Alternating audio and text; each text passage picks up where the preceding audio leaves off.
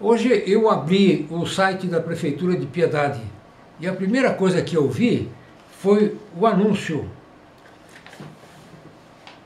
de uma rádio pública municipal.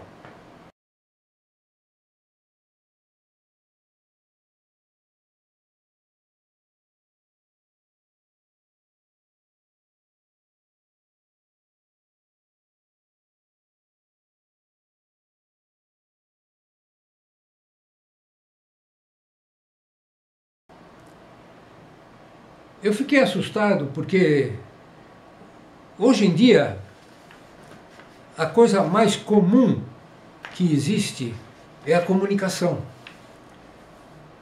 As redes sociais, elas tomaram conta do país para o bem e para o mal, mas tomaram conta. Então são veículos de comunicação. A prefeitura tem o seu site, tem as redes sociais à disposição que ela usa. Para que uma rádio pública municipal? Ademais, nós estamos numa época guerreando contra estatais. E é péssimo a gente ver um governo municipal criando uma estatal, porque esta é uma rádio pública municipal. É o fim do mundo.